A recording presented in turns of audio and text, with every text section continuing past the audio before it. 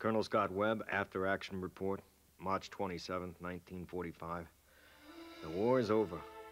Once a mighty force, the German army is now crumbling around us. I believe it is because of the tenacity, the skill, and the guts of the airborne that America has triumphed.